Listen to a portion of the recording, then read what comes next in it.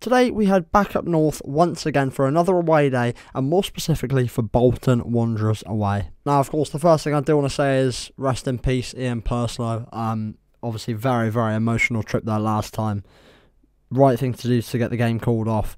We've got a banner in the away end today that I've managed to get sorted so hopefully that'll be a nice tribute and hopefully the fans can appreciate that but yeah, today's game is tinged with a lot of sadness, it's fair to say. The home side currently sit fourth in EFL League One, however, three games in hand on league leaders Portsmouth and only five points behind. I think everyone can agree that right now Bolton are looking like the favourites to win League One at this moment in time. Having said this, they do come in off the back of a disappointing 1 0 away loss to a high flying Leyton Orient, who are just absolutely smashing it at the moment, so fair play to them. We go into this game sat 22nd in EFL League One currently four points off of safety, however, two games in hand on 20th placed Exeter City. Our form to say we are where we are in the league is very, very impressive. Three wins in our last five, one draw, and one loss coming away at Northampton in what was, fair to say, a very, very underwhelming game. Most recently, of course, a 2 1 victory over the league leaders Portsmouth.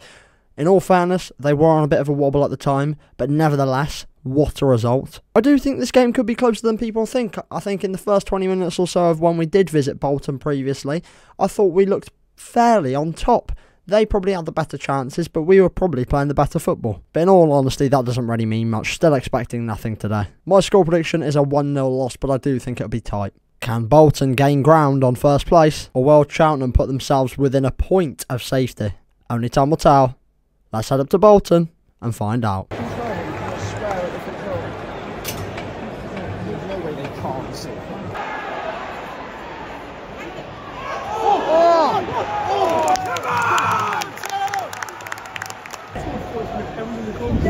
Everybody's back in. I don't know. Um, and I had to like tuck my wing away.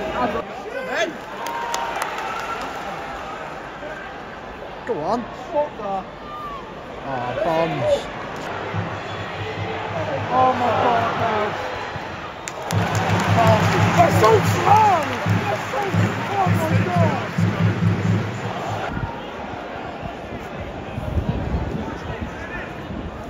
He's got time! It was the one you were talking to at Carlisle. Jesus. Oh! Go on. Good! Go on! One! Oh, my days. Right time! Come on. One! Go on!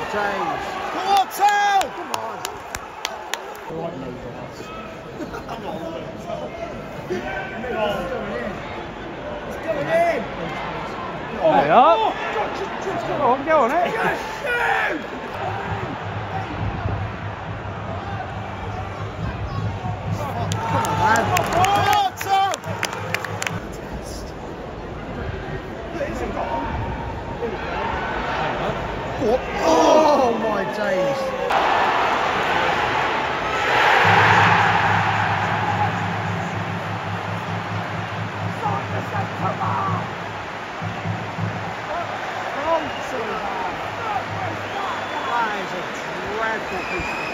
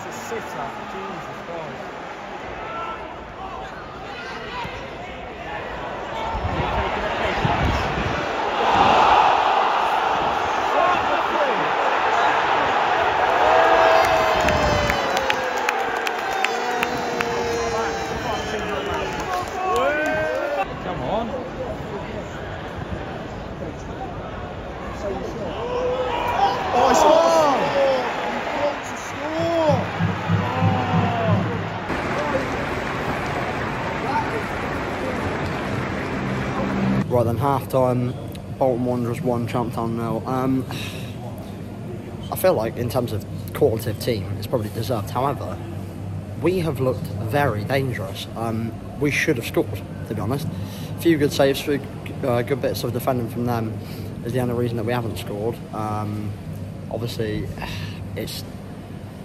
I back him a lot. I back him till the end of time, but I can't back Tom Bradbury for that uh, first half performance. It was poor. Um, he'll admit that himself. Obviously, losing the ball for the goal and then a couple of other issues. Obviously, got yellow carded. Really poor first half from him. So hopefully, he can come out second half and prove what he's all about. Um, we're in this game. It's just an unfortunate slip up defensively this last down. Um, but no reason to be to be down and out yet. Let's keep going. Let's go second half. What type of microwave though? Like a Hoover microwave or a Wetherspoons microwave? That was so.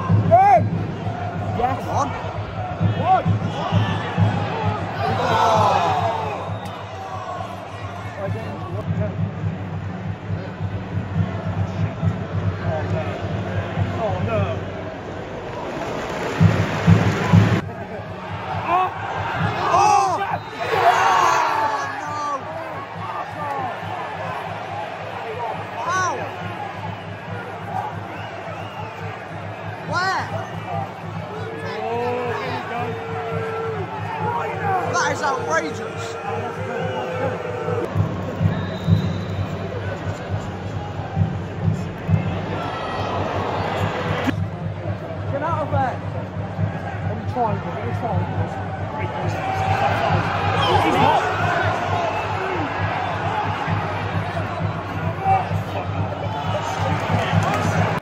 That's mine! Curtis Davies! What a fucking Great tackle. Oh! Oh my days. No, no, Ronnie, please. Oh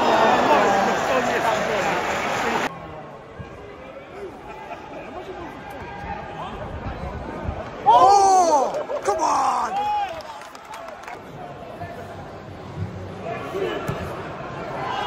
Come on, come on. Back out. Well in. Nice, go on. Go on, Sarge. That's it, that's our ball again. What? Oh my god, you do not have a clue. Yeah, oh, you can understand. That's so shit, look.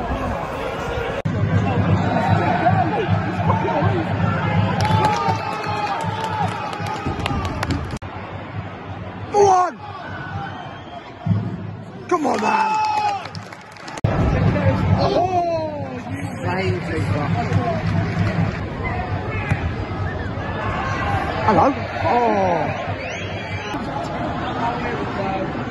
Yeah, get it. Oh! Just put it away. Come on! Come on, man. No, because he was going to lose it. Come on.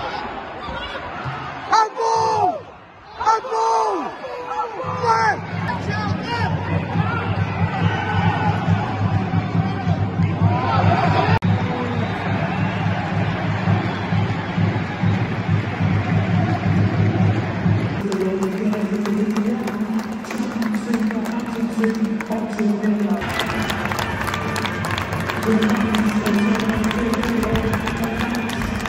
then, that is it for today's matchday vlog. Thank you very much for watching. Very, very disappointing one in the end. My score prediction was correct, and to be honest, at the start of the day, I wouldn't have minded a 1 0 loss. I mean, of course, I wouldn't have been happy with it.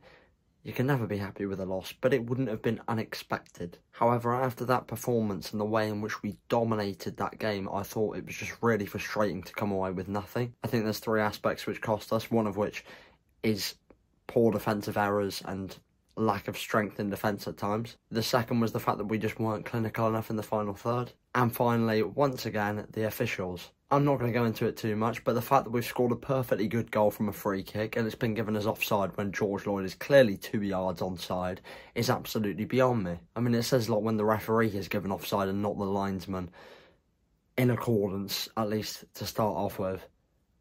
Incredible.